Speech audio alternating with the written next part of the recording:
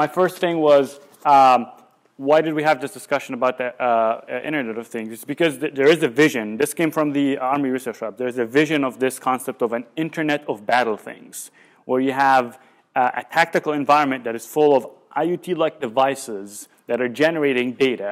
Some of these are friendly, some of these are not. Some of these are just you know, regular consumer devices.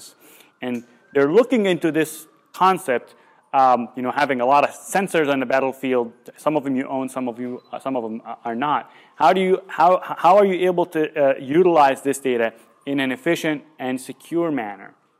So that's where this idea of the you know Internet of Things maybe in the end can tie in there, just because you know it's I think it's it's it, you know from an efficiency perspective and from a security perspective, there is a, a lot that it can bring here.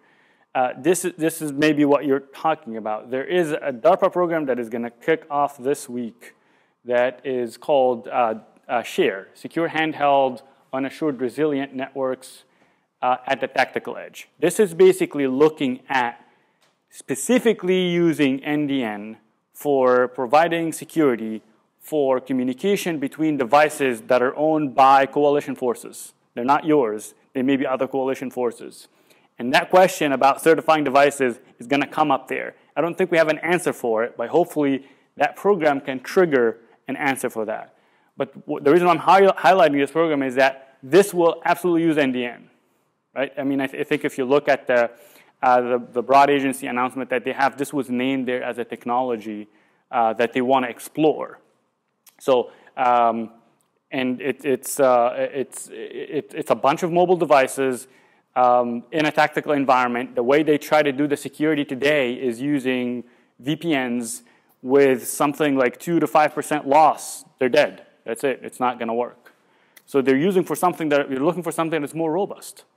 And they're looking for NDN to provide that robustness along with the security that come along with it. Uh, so there's not much information we have about that yet just because it hasn't started yet, but it's going to use NDN and it's going to address some of these questions about devices and, uh, and things like that. Um, so as I said, I'm not going to go through all these slides just because I have, I think we're almost at around 6 o'clock. The only thing that I want to uh, talk about is uh, maybe a couple of things. Some of, some of the things that we haven't talked about that maybe leverage in NDN. Security, it brings a different perspective when we're talking about security, right? So the fact that you have names for data, you can now realize something like um, a, a, a data filter that relies on, that looks at the data directly by name as opposed to filtering by ports and IP addresses. Um, you could also have uh, caching policies that are geared towards the environment that you're operating in. So some of the things that we've explored with was uh, um, uh, defining caching policies um, based on the kind of link that we're connected to and the kind of data that is important to us. In a sense, a combination of quality of service and knowledge of I'm on a link that has a lot of delay, right? And there are certain data that is important. If I have limited caching, I can't cache everything. So then, in that sense, can I basically allocate more space for data that is more important to me, given that I don't have enough space and I know that the link that I'm, um, you know, that, that link where that data traverses has disruption. So you can play with that to provide some sense of, you know, better quality of service uh, for the data and also better disruption tolerance, assuming knowledge of the delay disruption characteristics uh, of the links that you're operating on top of. So uh, moving forward, I think we're looking at NDN as hopefully play part of future tactical networks. Um, we've seen signs of that. Just this, you know, on its own, this DARPA share program is pretty significant. It's still DARPA, but you know, that's long term. Uh, it's um, hopefully there will be um, uh, uh, uh, you know more interest there in the technology. Uh, so so far, the, we've, what we've looked at is mostly application of NDN as something that runs uh, or interoperate along with IP. I think that makes sense from a short-term perspective to expect something like that. Uh, but that's not necessarily something that you know uh, is required by NDN. It can run natively uh, on top of layer two. So maybe in the future that we'll, we'll start seeing some some more of that. Um, and so some of the things that we've been trying to explore with as where it fits in, um, something like you know the concept of NDN gateways uh, that you know, lives within uh, uh, in areas where you know it will be needed, in areas where you know that you need some tolerance to, to disruption or, or delay. So it may fit in between certain portions within your network and, and just you know be able to you know take data and uh, identify it as NDN data, uh, eh, you know data that you uh, you want to be able to provide that level of service for it and and translate it into NDN and, and you know go back and forth. Some of the things that we're still looking at solving are things like uh, how does it operate in a ciphertext network. So if you're running anything through a HAIPE, it will all be encrypted. So then if NDN is operating by routing through names, all that will be encrypted. So how do you deal with that in a ciphertext core? So that's an open question, but similar questions existed in uh, DD, uh, the DTN world, right? Uh, because it's a similar structure, it's got its own naming space. And there were some solutions to it that were introduced then, And we believe these solutions could apply in, in this environment as well. Other things like event-driven applications, when data gets generated, I think a lot of you had hinted on that question. When data gets generated, how do I know that it, that it exists in the network? Um, and uh, so there are questions about data per perishability. Uh, so one of the things that we maybe haven't mentioned that much is that when data gets generated, there is a lifetime to it. And the lifetime here is sort of a hint. It's routers could basically cache this data based on that lifetime. And then they may get rid of it, but that's not guaranteed.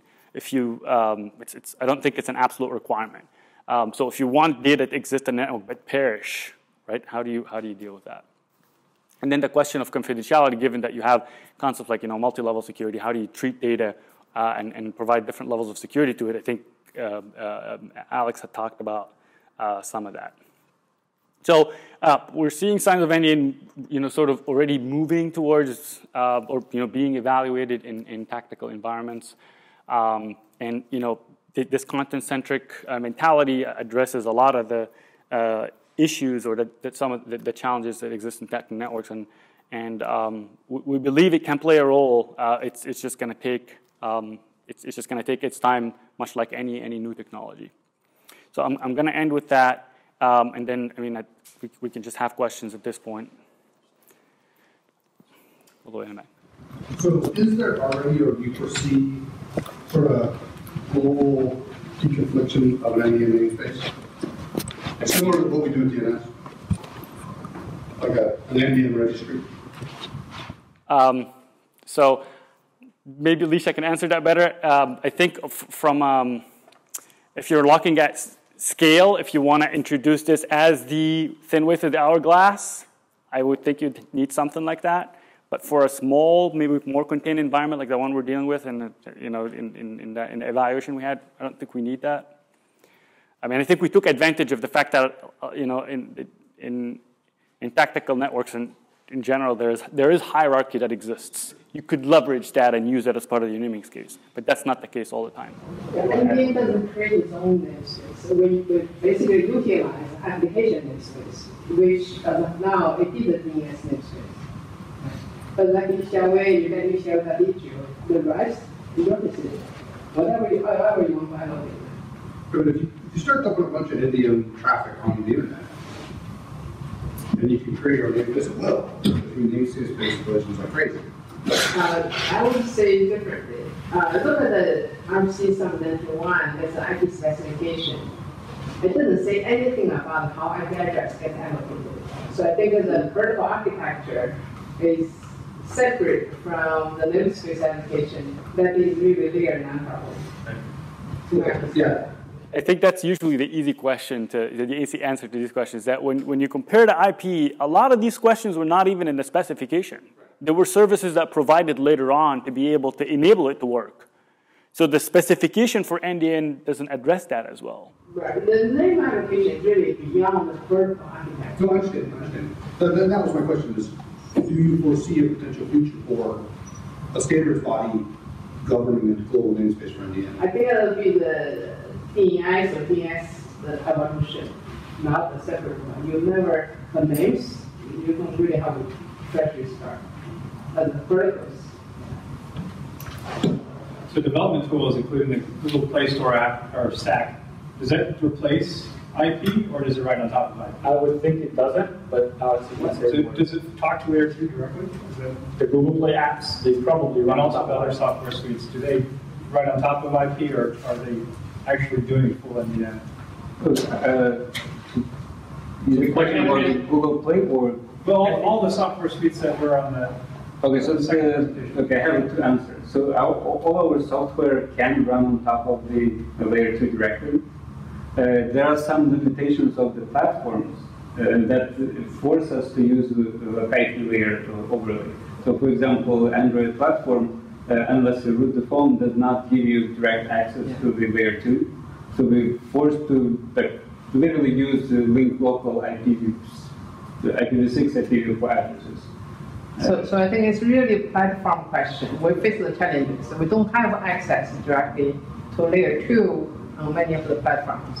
Talk about iPhone, my favorite vendors, they don't give me the access. Yeah, but the, the technology lets you do IP or not, and the way we've used it, we ran it on top of IP sometimes, we ran it on top of layer two sometimes. I, I think you talk about systems that have a lot of complaint, how, how much we have struggled trying to get lower layer access. We don't have it. Yeah, we actually have a poster specifically complaining about that. Uh, you, you haven't, it was one line on one of your future challenges, QS and resource allocation, resource management. If we put this in a heterogeneous environment where you might have very narrow band links and you have some wider band links and, and how, how would you try to kind of control the way your traffic is going, where you're getting it from? What, what's, what's being done? Can, can you just give me a summary of what, what's being done on that environment in, in that kind of perspective for NDN? Is there uh, any quality of information? Well, so from, from the perspective, I don't, I don't know how much is done in the, in the academic, in, in academia with respect to looking at quality of service and dealing with links that have different kind of bandwidth requirements and things like that.